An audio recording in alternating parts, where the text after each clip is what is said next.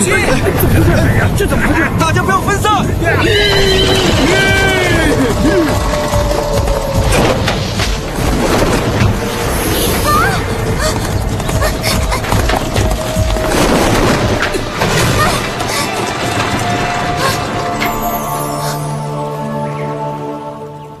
是你，公子，怎么是你？啊，你没事吧？吁，怎么样？有没有受伤啊？哦，我没事。姑娘，你没事吧？哎，我的脚！哎，你别动，你脚可能扭伤了。那，姑娘，你住哪儿？啊，翻过前面那个山头的小镇，再走十里路就到了。这么远？姑娘，你脚都受伤了，还怎么走啊？山路不好走啊。啊，没事的，我自己回去就可以了。这样吧，姑娘，反正大家也是同路，我们送你回去。那怎么行啊？护镖为重，我看还是不要跟陌生人走在一起比较好。是啊是啊，你们办正事要紧，我没问题的，我没事的。走一会儿歇一会儿就行了，这一带很安全，不会出事的。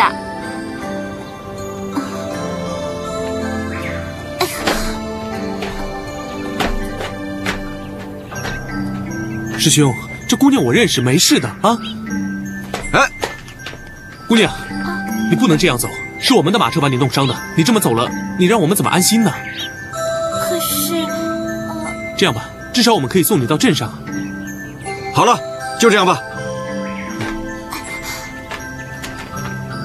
就，来，跟上，跟上，跟上，跟紧点儿，大家跟紧点啊！好了，就，就，就，就，就。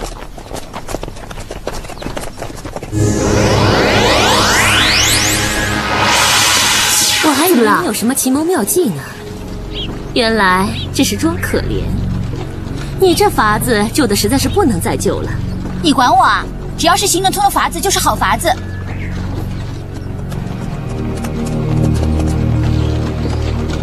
喂，你到底还在等什么？都已经混入车队了，你还等什么呀？等什么？总要知道佛果在哪里，在谁身上吧？总之一定在这伙人身上了。那你想我怎么办？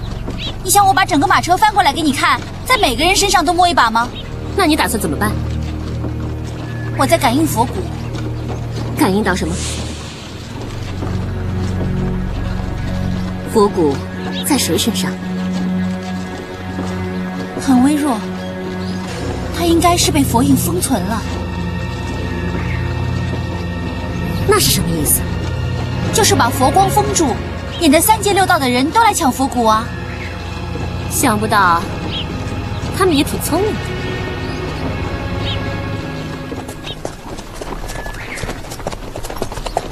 师兄，前面有块空地，我们到那里去歇一歇吧。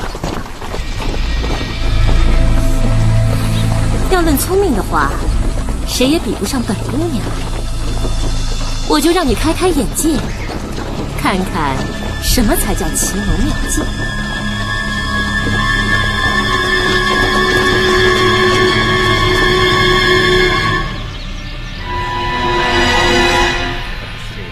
来，吃，吃，来，吃吃。你吃吧。谢谢啊。哎呀，是该歇歇了，也真累了啊！这天真热。不过还好，到现在了，来，喝点，喝点啊，来。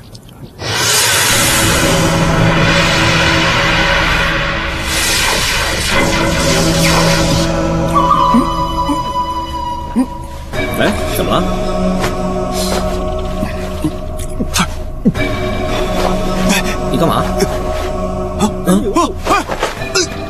你多长时间没洗澡了？一身的虫。嗯嗯嗯。我怎么也有？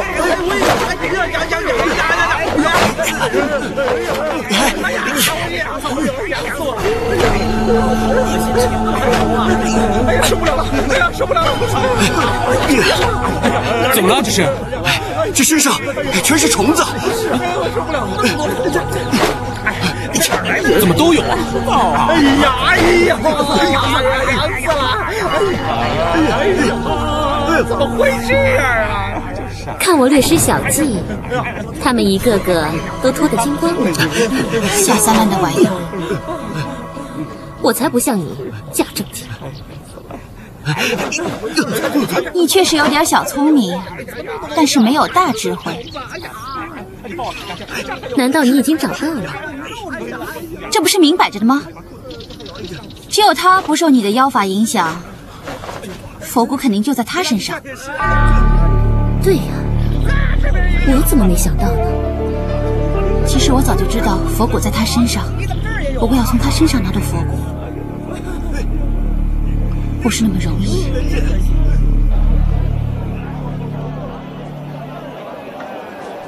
哎呀，客官几位啊？啊，掌柜的，我们的车队想要几间客房，啊留一间小的给这位姑娘休息。哎，好的好的。另外，我们还要喂马。哎，小店的客房多的是，喂马的地方更少不了。哎，小二啊，哎给客人开房去。哎，好嘞。师兄，你忙，我扶他到房间去休息。好，哎，客官，哎，这边请，哎跟我来吧。请请请请哎，来来来。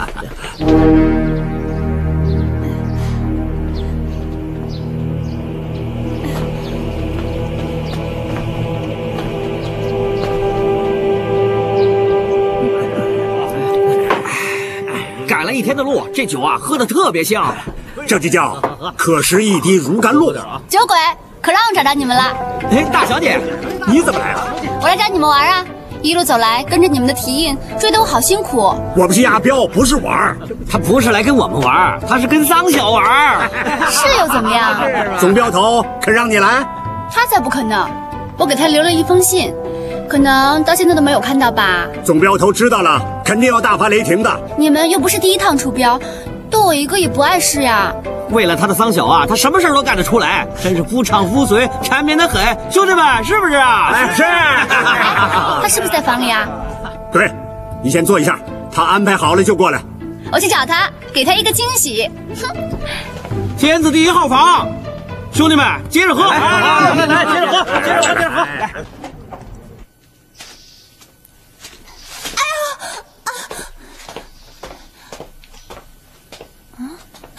不行不行，我受不了了，我不做了。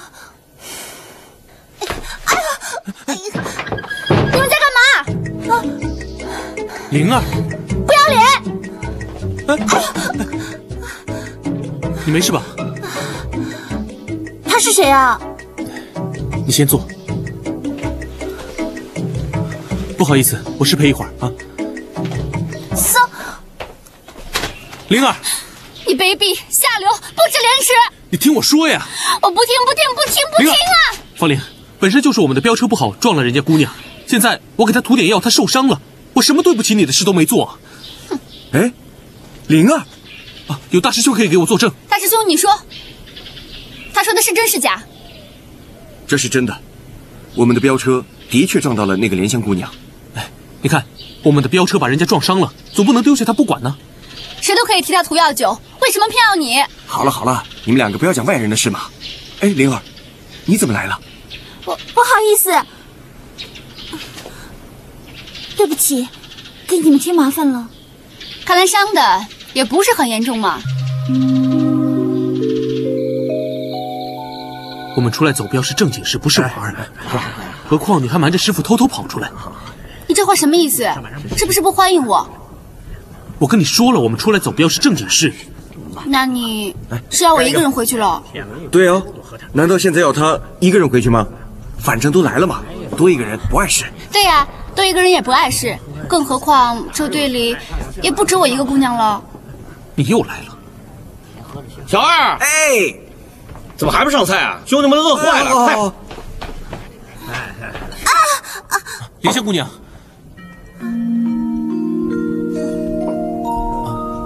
让我来吧。来，哎真是不好意思，我休息了一下，出来晚了。不要紧，反正菜还没上来呢。哎，你的玉佩呢？果然带着。嗯，玉佩，这个玉佩颜色不错，嗯，不便宜，一定是大小姐送的吧？价钱不是最重要的，重要的是我们心有灵犀，我们都选择了和对方一样的礼物送给对方。呦，还真是一模一样真难得，真难得啊！我们是有缘人嘛，缘分天定。最重要的是，我们对方的性格爱好早已经一清二楚。他呀，寻常的货是绝对看不上眼的。我就说嘛，那块玉佩，你的师妹一定会喜欢的。姑娘，你还没谢过我呢，什么意思？没，其实有一天我们两个在集市上碰到了，你身上戴的那块玉佩还是我帮他挑的呢。原来你们两个早就认识了，还不止那一次呢。第一次见面的时候，他还抱过我呢。你说什么？你别误会，其实他就是抱着我走过泥潭，我们两个人都是规规矩矩的。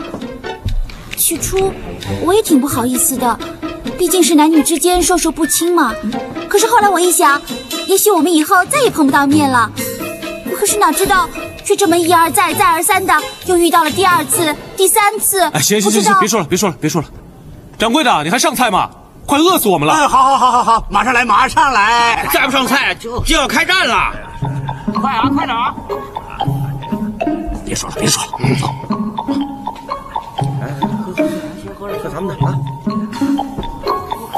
方姑娘，其实你真的不用太在意了。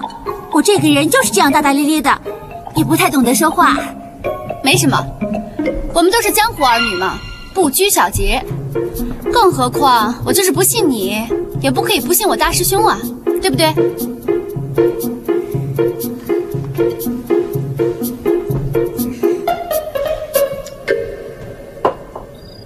不要老是绷着脸吧。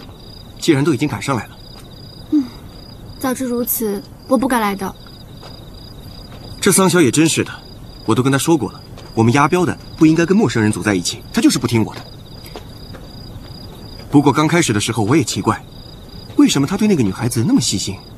原来他们早就相识。不过也难怪，这女孩子这么漂亮，哪个男孩子能不动心？你也觉得她很漂亮吗？跟你比起来，当然是你漂亮了。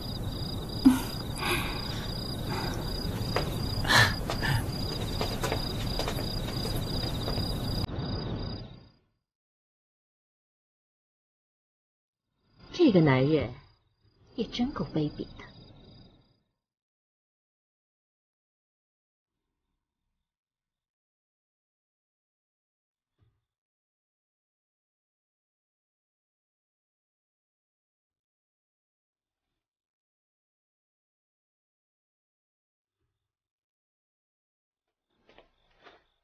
你要干什么？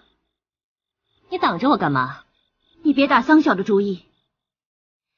奇怪了，佛骨在他身上，我不打他的主意，打谁的主意啊？你到底要干什么？对付男人只有一个方法，那就是让他把衣服脱了，佛骨自然手到擒来。也许别的男人会给你迷住，但是桑晓不会。他为人耿直，是个正人君子。而且他早已经对他的小师妹情有独钟了，我劝你还是不要白费功夫吧。即便是这样，我也自有办法。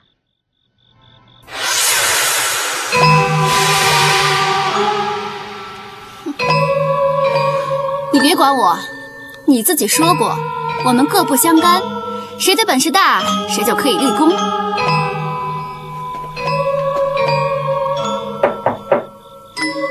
三小。是我，灵儿。三小，你还没睡啊？没睡啊。我有话要跟你说。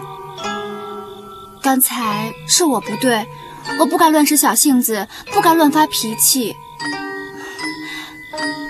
其实我没有怀疑你。那莲香姑娘，她哪里比得上我？样子又丑，一点贵气都没有。其实也不是这个问题，是我觉得你应该知道我的为人呢。我懂。啊，你怕什么呀？我我我没怕。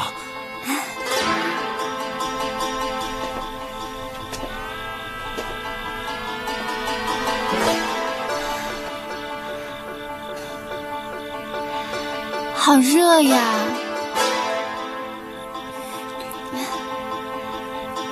灵儿，你平常从来不这样的，又不是在家中，何必循规蹈矩呢？灵儿，你看，现在天也晚了，你走了一天的路多累啊，要不你先回房休息吧。我就在这儿歇歇好啦。灵儿，你，嗯，灵儿，你不是喜欢我吗？你不想亲亲我吗？灵儿，你你先听我说，我跟莲香姑娘真的什么都没有发生过，你别多想。而且天也这么晚了，呃灵儿，三小，我早晚都是你的人了。灵儿，你你听我说，我喜欢你，所以我更不能对你胡来啊。三小，你回去吧，我就当什么都没有发生过。三小，别再说了，三小，真是一头笨猪，一点都不解风情。我早说过他是一个正人君子，请你以后不要再想这种馊主意吧。我看是他的小师妹不够娇艳，提不起他的兴趣才这样。要是以我的姿色，就算凭你的姿色拿到佛骨，又能怎样呢？你敢伸手碰他吗？一个开了光的小小玉佛你都碰不得，更何况那佛骨的佛光抵过他十倍百倍，只怕你手还没伸，就已经粉身碎骨了。你还是不要再插手了吧。你神气什么？又不是只有你一个人可以碰到佛骨，随便一个凡人都可以。只可惜，你不是凡人。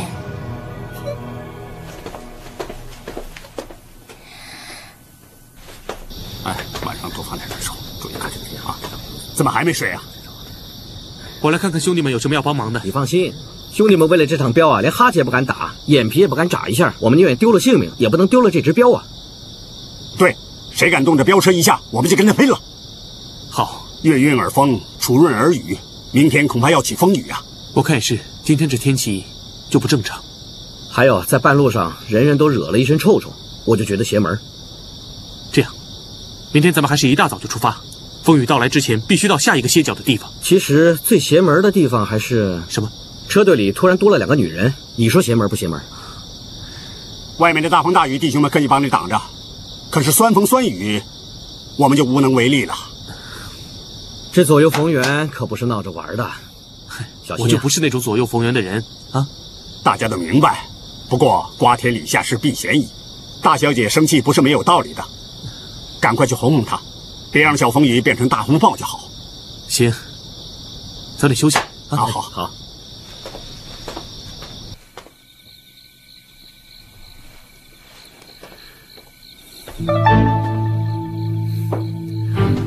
公子，啊，莲香姑娘，一起喝一杯吧。啊，不了，我明天还有事呢。是有事啊，还是怕别人不高兴？坐吧，公子。好。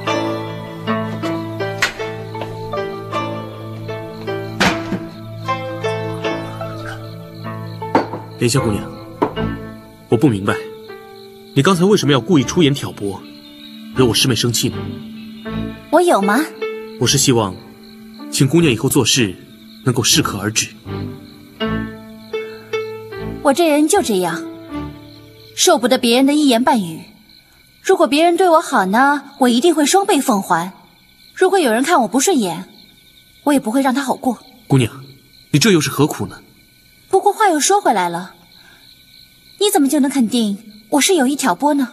难道我就不能是情不自禁吗？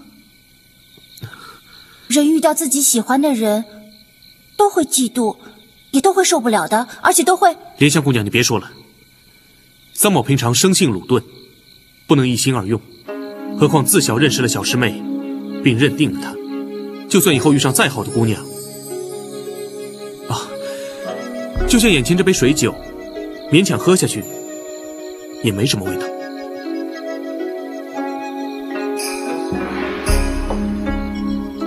就算不喜欢喝酒嘛，也不要这样损人吧。不好意思，我不怎么会说话。你也不用再说了，我心里都明白。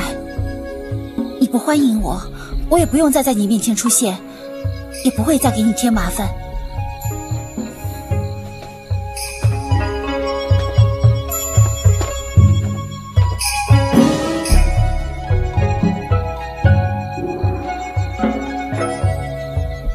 难道你真的对我一点感觉都没有吗？不瞒姑娘，是有点似曾相识。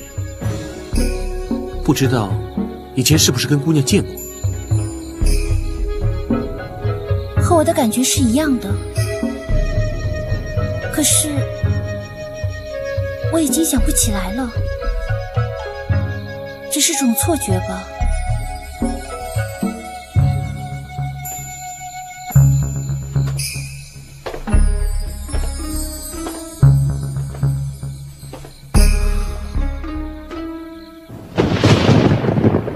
想不到天色变得这么快。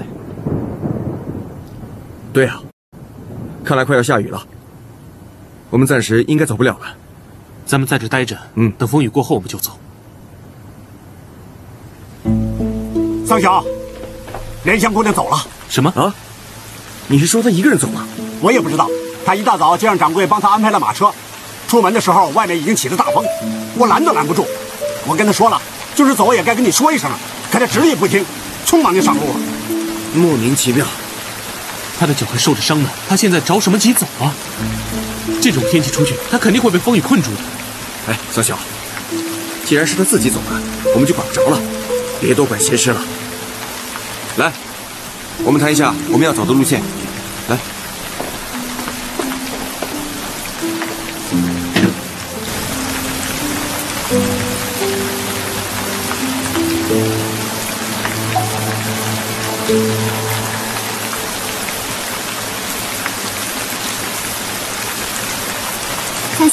你在想什么呢？不如我们下期解闷儿，好不好？你自己玩吧，我没心情。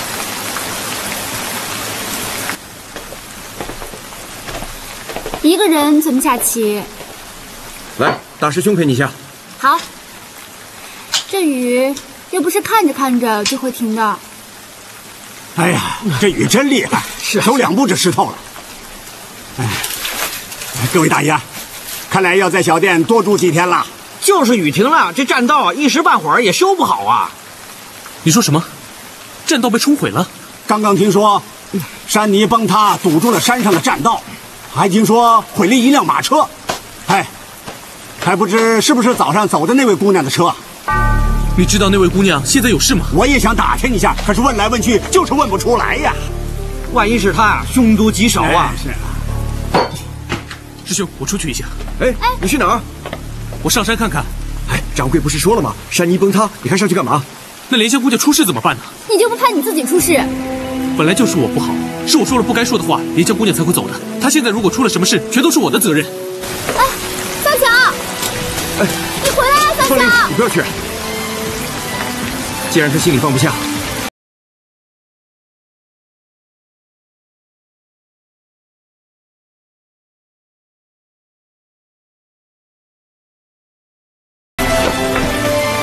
莲香，莲香，莲香，莲香。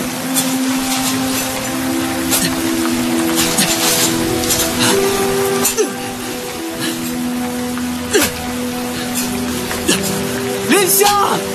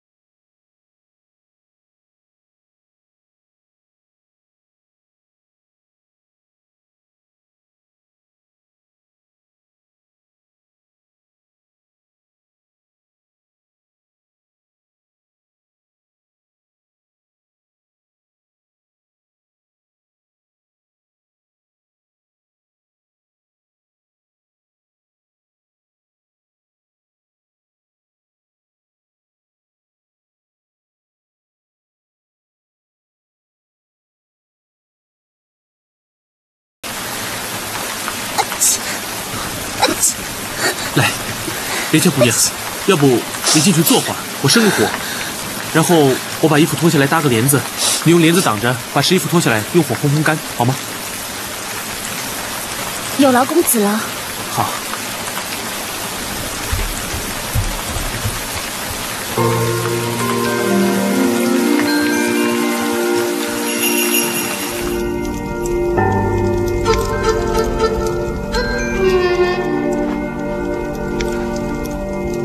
莲香姑娘放心，我会背对着姑娘做的。三公子是正人君子，我怎么可能不放心呢？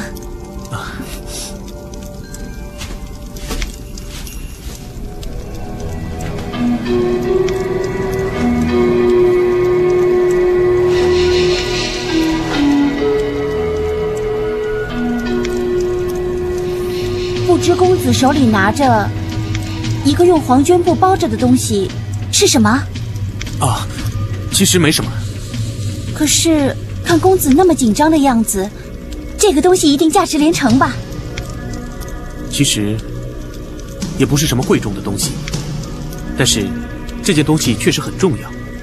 不瞒姑娘说，这其实是一位天竺圣僧的佛骨。哦，是圣僧的佛骨。我不像姑娘，没什么慧根，但是跟这位圣僧也确实算是有缘。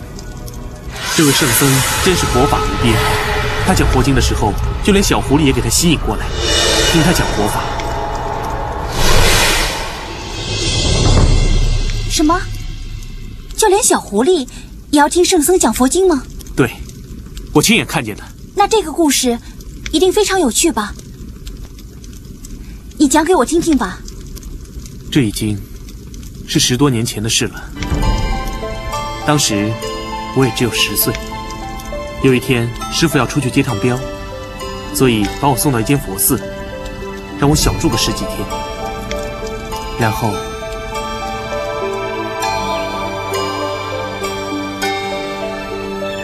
儿时舍利弗知四众心疑，自意未了，而白佛言：“世尊，何因何缘？殷勤称叹诸佛第一方便，甚深微妙难解之法。我自昔来未曾从佛闻如是说，今者。”四众贤皆有疑，唯愿世尊敷衍私事。世尊何故殷勤称叹甚深微妙难解之法？指舍利弗，不须复说，所以者何？愿我佛慈悲，普度众生。阿弥陀佛。阿弥陀佛。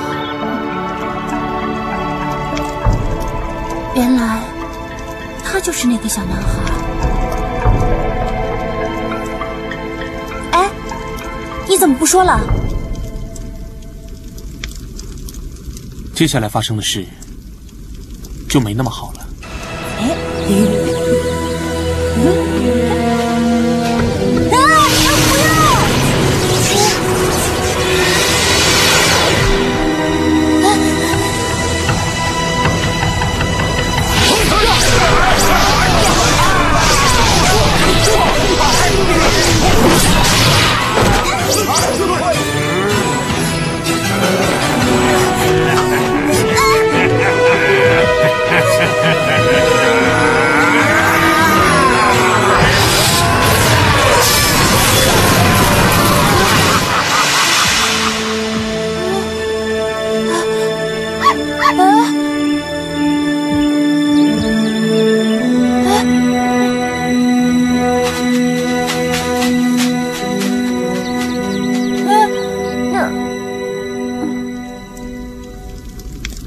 我相信，一定是圣僧救了我们。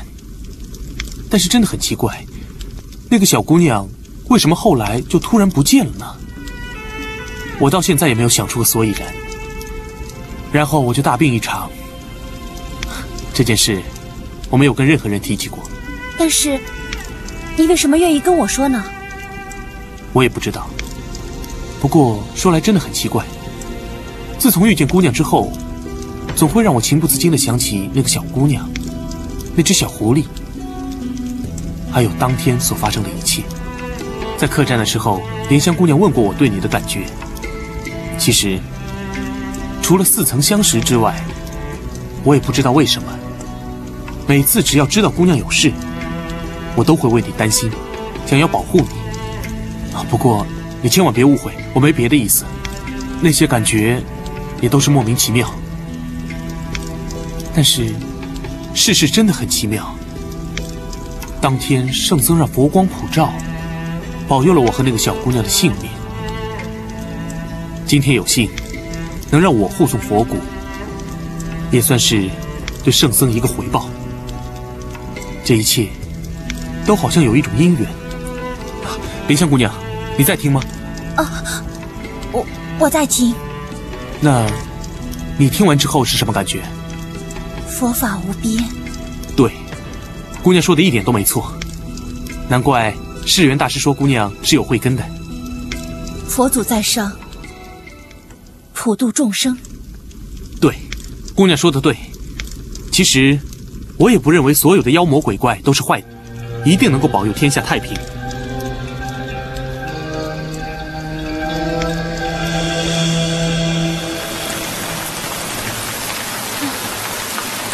快要黑了，三小怎么还不回来呀？大小姐，你不用替桑小担心，他机智过人，一定不会有事的。对，桑小是个有担待的人，他一定是找到莲香姑娘了，带着扭伤脚的莲香姑娘才不能回来，否则入夜前桑小一定回客栈，不会让大家担心的。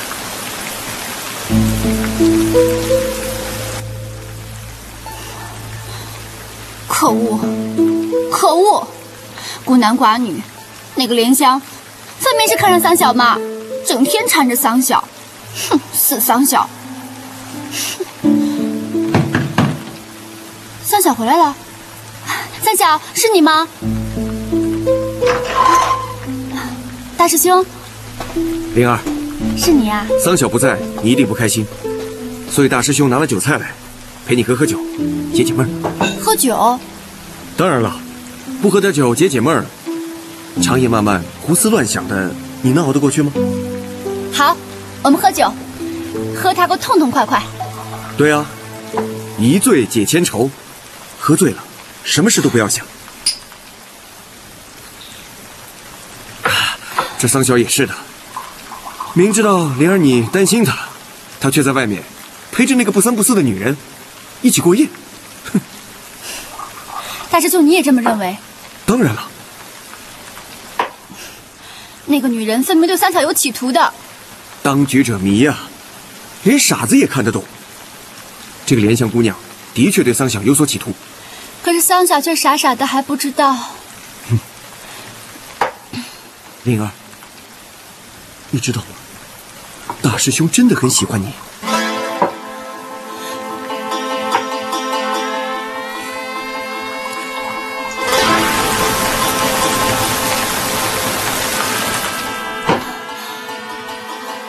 师兄，嗯，你知道吗？从小到大。你都像亲哥哥一样的照顾我、疼我。今天，你的好妹妹要告诉你一件事情，就是我已经找到我的心上人了，他就是桑晓。你能成全我们吗？我没有阻碍你们啊。在桑晓来之前，你一直陪着我玩。桑晓来了之后，你都不理我，我真的很气，你知道吗？嗯大师兄。答应我，忘掉所有不开心的事情，干了这一杯。好，忘掉不开心的事，干。还有一件事情，你一定要答应我。我什么事都答应你。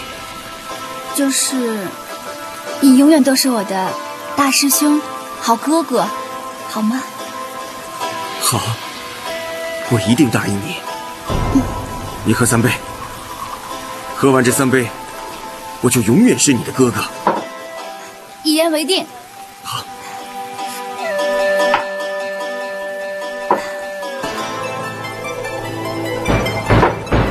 第二杯让我们忘掉所有不开心的事情。好忘掉不开心的事情。最后一杯，敬我的好哥哥。好，你永远都是我妹妹。哎，灵儿，灵儿。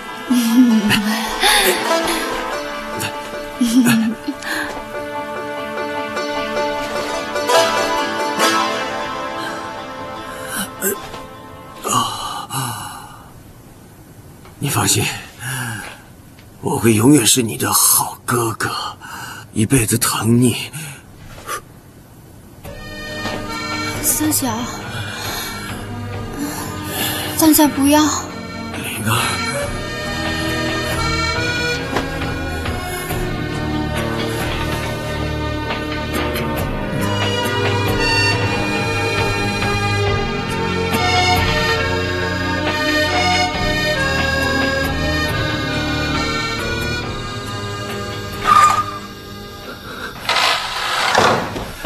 魏琪，你真是卑鄙呀！成人之危，不过也如愿以偿了。你说什么？天下男人皆好色，不过你就是色胆包天，风流快活之后便想一走了之啊！你懂什么？你有什么企图？你到底是谁？哼，我，我是红英，我是什么人并不重要。重要的是，你做过什么，我一清二楚。你到底想怎么样？我可以替你保守秘密，并且还可以帮你对付你那个师弟桑晓。我为什么要相信你啊？那很简单。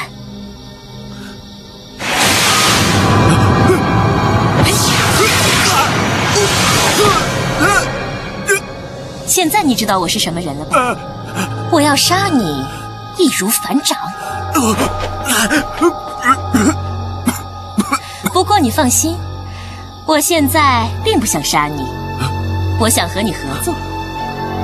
只要你乖乖的听我的话，帮我取得桑晓身上藏着的佛骨，我就能帮你铲除桑晓，令他永世不得翻身。你，你打算怎么做？你这是答应我了？既然是对我有百利无一害，我何乐而不为啊？好，果然是识时务之人。那你准备怎么做？你放心，一切我自有主意。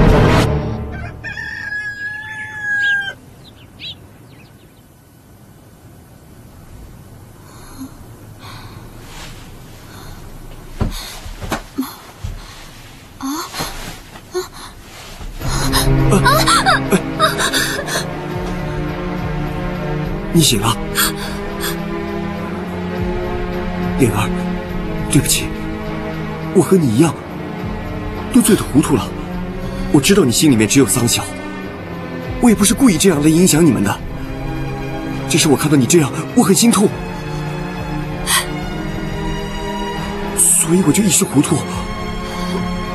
凤玲，如果你要我负责的话，我愿意承担责任；如果你不愿意，我也尊重你的决定。不要再说了，不要说了！我不想听啊！出去！我不想看到你啊！快走！好，我出去。我我走。快走啊！我走，我走。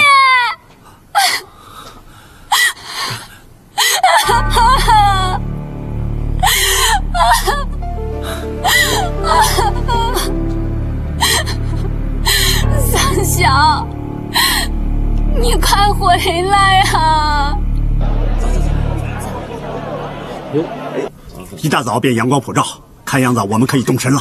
嗯。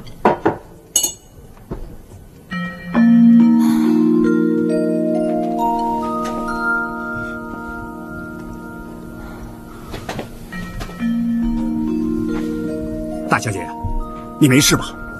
脸色不太好啊。没事，我没事。哎，桑晓回来了。嗯，桑晓，你去哪儿了？怎么一晚上不回来？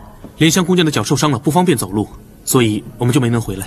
你就知道她脚受伤了，那我呢？你关心我吗？你连我的死活都不管了，你知道吗？大小姐，你怎么了？哎，没你们的事，坐。灵儿，你怎么了？昨天下那么大的雨，你让我们怎么回来啊？我不管，如果你关心我的话，就一定会回来的。方小姐，都是我不好，我的脚受伤了。你给我住口！我没有在跟你说话。灵儿，你太过分了，你怎么能这样呢？我这样又怎么了？香香，你知道你在说什么吗？你现在为了这个女人，你连我都敢骂了。我现在跟你说不清楚，你现在一点道理都听不进去。莲香姑娘，咱们先进去。香香，你给我站住！咱们进去。